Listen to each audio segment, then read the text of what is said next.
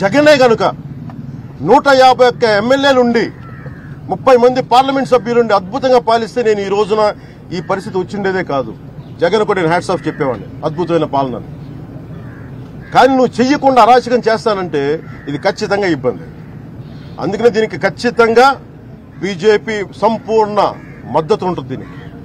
నేను మీకు తెలియజేస్తాను చంద్రబాబు గారితో ములాఖాతులో ఎటువంటి విషయాలు చర్చించారు ములాఖాతులో నేను వారిని ఒకటే అడిగాను. వారి ఆరోగ్యం ఎలా ఉంది? మీలాంటి వ్యక్తికి ఇలాంటి పరిస్థితి రావడం చాలా బాధగా ఉంది. నేను విభేదించాను మీతోటి.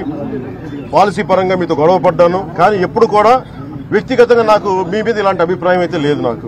అది చాలా సంపూర్ణంగా తెలియజేశాను చాలా సంపూర్ణంగా తెలియజేశాను అలాగే అధికారులు కూడా అడిగాను ఆయన ఆరోగ్యం పెద్దలైనా వయసు పెద్దదైంది. ఏ మాత్రం చూస్తున్నారు సరిగ్గా ఉందంటే వాళ్ళు చెప్పారు. వాళ్ళు చెప్పాల్సినవి చెప్పారు. అలాగే నేను కోరుకుంటుంది కూడా మొత్తం వారికి ఒకటే తెలియజేశాను నేను నా సంపూర్ణ మద్దతు ఉంటుంది. నేను ఈరోజు ఒక కీలకమైన నిర్ణయం తీసుకుంటానని చెప్పాను ఆయన. అందుకే నేను మొన్నదాకా ఆలోచించాను. మీ మీ స్థాయి వ్యక్తికి ఈ నిర్ణయం వచ్చినప్పుడు ఇంకా ఆంధ్రప్రదేశ్ అధోగతికి పాలైందని అర్థం. నేను బయటకు వచ్చి సంపూర్ణ నిర్ణయం తీసుకుంటానని చెప్పి నేను ఆ నిర్ణయం తెలియజేశాను. ఖచ్చితంగా ఆ స్థాయి వ్యక్తికి అంటే నాకు ఒకటే అనిపించింది. నేను హైదరాబాద్ నుంచి వస్తా ఉన్నాను.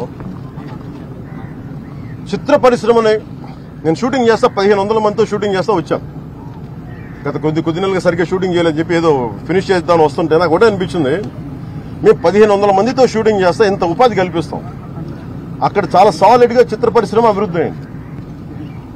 నేను హైటెక్ సిటీ నుంచి వస్తామని నాకు అనిపించింది నాకు ఒకటే అనిపించింది ఇంత సంపూర్ణంగా విజన్ చూసిన వ్యక్తి ఈ దుస్థితి ఏంటనిపించింది చాలా చాలా బాధ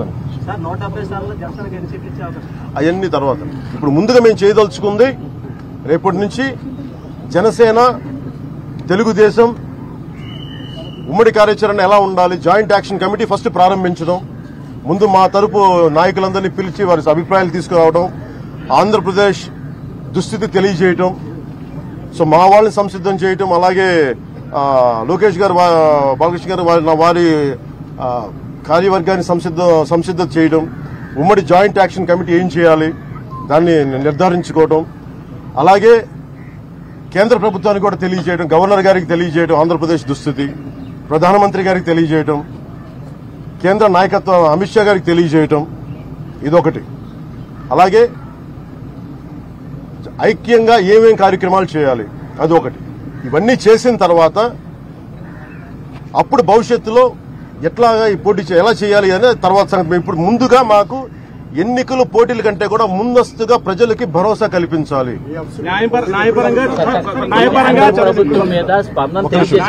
చంద్రబాబు